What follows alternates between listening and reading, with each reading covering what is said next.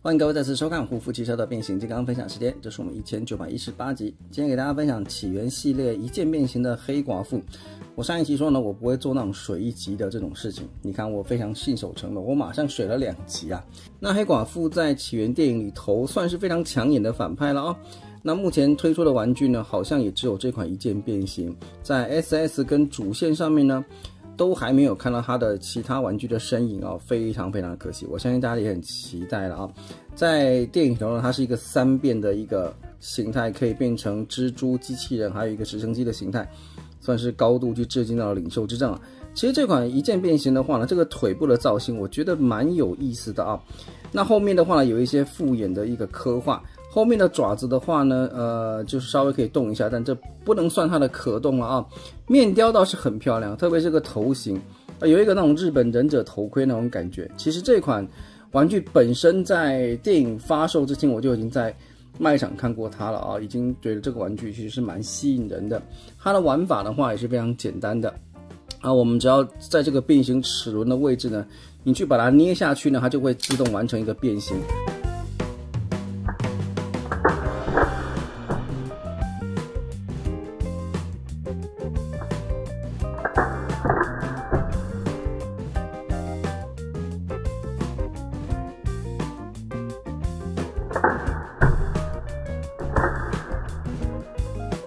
啊，就完成了它的一个蜘蛛形态的一个变形。那蜘蛛形态的话呢，应该这边是它的头吧？啊，我感觉是啦，因为这里两侧这个武器在前方。那它侧边的这些复眼，那在电影里头它是张开之后有很多很可怕的这个小眼珠子。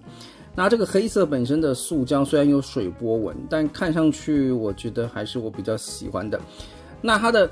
呃，变形齿轮呢，在这个时候呢就会收起来。我们把它变回机器人的形态给各位看一下。我们再往上一叠，你就会发现呢，它的变形齿轮目前是消失啊，估计可以理解为消失。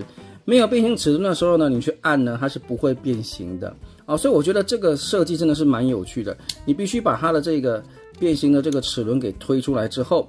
啊，在有这个零件的情况下呢，啊，你去按它才会完成一个变形，啊，所以说再次的验证说变形齿轮呢，在这部电影里头呢，它是多么重要的一个事件的道具，啊，或者是它有什么象征的隐喻吧，啊，但是呢，不管怎么说啊。有没有变形齿轮呢？都不会影响你是不是变形金刚啊，是吧？这个我想起来，在钢铁人 Iron Man 的第三集，对不对？即使没有这些钢铁装甲呢，Tony Stark 他也依然是钢铁人。好，那这一集的话呢，就给各位分享这一款来自于起源系列的一键变形的黑寡妇。谢谢各位这一集的收看，我们下期再见，拜拜。